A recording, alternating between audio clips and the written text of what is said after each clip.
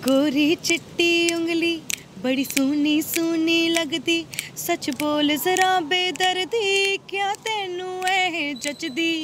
जी चाहे तू इसमें सैया चार चाँद लगा दे। ਰਿੰਗ ਦਿਲਾ ਦੇ ਮੈਨੂੰ ਡਾਇਮੰਡ ਰਿੰਗ ਦਿਲਾ ਦੇ ਰਿੰਗ ਦਿਲਾ ਦੇ ਮੈਨੂੰ ਡਾਇਮੰਡ ਰਿੰਗ ਦਿਲਾ ਦੇ ਹੋ ਰਿੰਗ ਦਿਲਾ ਦੇ ਮੈਨੂੰ ਡਾਇਮੰਡ ਰਿੰਗ ਦਿਲਾ ਦੇ ਅਰੇ ਰਿੰਗ ਦਿਲਾ ਦੇ ਮੈਨੂੰ ਡਾਇਮੰਡ ਰਿੰਗ ਦਿਲਾ ਦੇ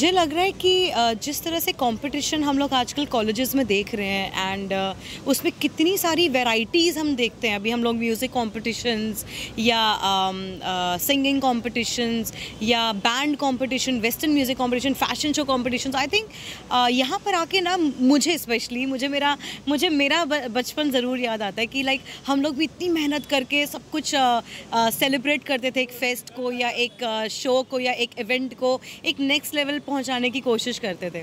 So yes I am I always you know get very excited जब भी मैं कॉलेजेस या um, क्या कहते हैं कोई भी दूसरे कॉलेजेस में जाती हूँ कुछ भी जज करने या as a as a guest बन के सो so, येस सर ये ये इवेंट्स इस तरीके से जो स्टूडेंट्स करते हैं ये बहुत ही मेहनत करते हैं इसके अंदर और बहुत कम समय में इनको ये सब करके देना होता है। करेक्ट और एक खर्चा भी उनके हाथ सर में होता है कि ये इतना ज़िम्मेदारी है इससे ज़्यादा ना हो वरना कुछ नहीं होगा। और काफ़ी तो अपनी जेब से निकालते हैं और बहुत ही अच्छा इवेंट करते हैं। और मुझे तो यहाँ पर आके ये फ़ैशन शो में आके ये मिला है कि हमारे अगले प्रोजेक्ट में हम फ़ैशन डिज़ाइनर यहाँ से ही ले लेंगे। ओ वाओ तो और कुछ नया नया हमें ये मिलेगा फ़ैशन के जो भी डिज़ाइंस हैं। और वेल बहुत अच्छा लगा मुझे यहाँ पर आके और ऐसे काफ़ी एज ए जज हमने इवेंट्स किए हैं। करेक्ट और सब जगह यही मस्ती और यही तूफ़ान देखा हुआ है। Energy yes Energy. Song song अपने गाए हैं जी। सॉन्ग के बारे में बताओ। तो हाँ जी क्योंकि हम लोगों ने अभी अभी एक गाना रिलीज़ किया है आ, क्योंकि हमारे साथ आई I मीन mean, इतने एक्सपीरियंस्ड एंड इतने सीरियस डायरेक्टर हमारे साथ हैं कोरियोग्राफर हमारे साथ हैं तो मुझे इतना इतनी खुशी है कि मैं पहली बार इनके साथ काम करने का मुझे मौका मिला है। और इस गाने का नाम है डायमंड रिंग जो कि क्रेसी सिंह ने परफॉर्म किया है एक्ट किया है। और सर ने डायरेक्ट किया है एंड कोरियोग्राफी भी की है।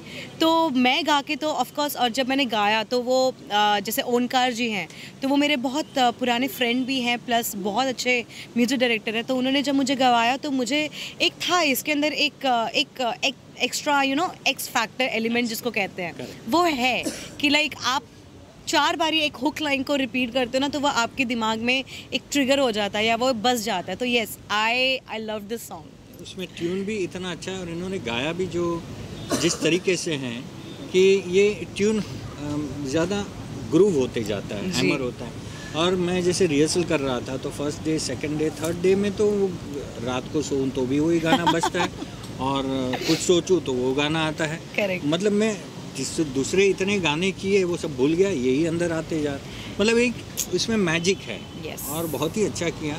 इन्होंने गाया बहुत खूबसूरत है। म्यूज़िक भी बहुत ही अच्छे से ये किया और मैंने खुशी कोशिश की है इसको पिक्चराइज करने की और बहुत ही अच्छा कृषि सिंह ने बहुत मेहनत की। अनफॉर्चुनेटली आज नहीं आ पाई है। वो शूटिंग में बिज़ी हैं। और कोशिश तो किया उसने। लास्ट मोमेंट पे बोला नहीं पहुँच पाऊँगी। देन वी स्टार्टेड इवेंट तो यस वेरी गुड अच्छा एक्सपीरियंस रहा. होपफुली हम आगे भी करेंगे साथ में it will be my honour बिल्कुल. मज़ा आती है और करते रहेंगे. न्यू कमर का जैसे कि मैं आ, मेरी गुरु हैं सरोज जी सरोज खान. उनके साथ मैंने जो किया मुझे यही डिपार्टमेंट दिया था कि न्यू कमर को ट्रेन करो. ओह उसमें very tough Rani Mukherjee last I sorry Tushar Kapoor last आए। और वो उसमें ये है कि तभी ये रॉ होते हैं। न्यू कमर जो होते हैं वो रॉ रॉ को आप कैसे भी मेल्ट कर सकते हो। और उसको सही तरीके से अगर मेल्ट किया तो फिर कोई भी उसका अच्छा इस्तेमाल कर सकता है। तो इस तरीके से क्रेसी भी बहुत मेहनत की उसने एज ए न्यू कमर उसका बॉडी लैंग्वेज क्या है कुछ पता नहीं था। तो डायरेक्ट फ्लोर पे जाने से पहले हमने रिहर्सल किया और जब उसने गाया भी इतने अच्छे से तो ये लग रहा है कि वो खुद गा रही है। हालाँकि हाँ। इनकी मेहनत है मगर लिप मूवमेंट में ये नहीं लग रहा है जैसे लता जी गाती है तो रेखा कोई बोल नहीं सकते कि रेखा जी गा रहे हैं या लता जी गा तो एक बिल्कुल। बैकग्राउंड जो वॉइस होता है वो फिक्स हो जाता है। एज ए डेब्यू में जैसे आमिर खान का आवाज़ जो था वो ऐसा ही लग रहा है कि उदित नारायण जी गा रहे हैं। सही बात। सो so, बहुत ही अच्छा लगा और मज़ा आती है न्यू कमर्स को ट्रेन करने के लिए। इनफैक्ट इन्होंने बहुत अच्छी बात पकड़ी है कि जब एक सिंगर एक आर्टिस्ट गाता है आ, किसी भी हीरो हीरोइन के लिए या किसी भी न्यू कमर्स के लिए क्योंकि अभी आधे से ज़्यादा क्या हो गया कि हम सिंगर्स को पता ही नहीं होता हम किसके लिए गा रहे हैं। तो जब एग्जैक्टली exactly, तो हमें या तो ट्यून एंड लिरिक्स को सोच के ही हम लोग देख सकते हैं कि हाँ भाई या तो ये हैप्पी है ये चुलबुला गाना है ये सैड है ये सैड रोमांटिक है। तो जब मुझे जनरली मुझे नहीं पता था कि ये क्रेसी कर रही हैं। और वो भी न्यू कमर वो भी न्यू कमर और जब मुझे लकीली जब ऐसा लगा कि हाँ भाई अब ये एकदम मैच एंड फिट हो रही है इनकी आवाज़ पे और सॉरी इनके एक्टिंग पे तो मुझे सेल्फ सेटिस्फैक्शन ये हुआ कि नहीं आई थिंक आई थिंक अभी हम लोगों ने राइट right, uh, एक पूरा uh, क्या कहते हैं टीम ली है। अब हो, होता ऐसे है कि पहले जो फ़िल्में बनती थी उसमें सिंगर को बताया जाता था जी। कि ये हीरो है ये हीरोइन है, है। और गाने का ये सिचुएशन है। आज तो कुछ नहीं एक गाना दिमाग में आया है तो हम कर लेते हैं। जी। और गाना जो है वो क्या है वो सिंगर को खुद इम्प्रोवाइज करना पड़ता बिल्कुल बिल्कुल। ये मैं जहाँ तक मेरा सोचना है और मैंने जिस हिसाब से ये गाना किया ये ब्लाइंडली इन्होंने गाया है तो कितना इम्प्रोवाइज किया होगा? क्या स्टाइल उन्होंने कहा कहाँ उनको ये देना है मोड़ देना है? जी। बहुत ही अच्छा किया। डिफ़िकल्ट है। आज के दौर में सिंगर को गाना गाना बिना इन किसी सिचुएशन के बताए कौन आर्टिस्ट है ब्लैंक और हमारे लिए वो उतना ही डिफ़िकल्ट ये होता है कि इस गाया हुए गाने को किस उस मूड में लाना है। जस्टिफाई करना। है कि ये मूड में ऐसा ना लगे कि एब्रप्टली ये सॉन्ग आ गया हाँ। एग्जैक्टली खाने की बात हो रही तो हो एब्सोल्युटली अच्छा ये गा रहे हैं मुझे ना बोलना कि दो। आई होप आई विश कि लाइक हम लोग थोड़ा इनका डांस कुछ आज मोमेंट देख देख पाते हैं। आगे कुछ कर सकते हैं। ये गोरी चिट्टी उंगली बड़ी सोनी सोनी लगती। सच बोल जरा बेदर्दी, क्या तेनू ऐ जचदी? जी चाहे तू इसमें सैया चार चाँद लगा दे।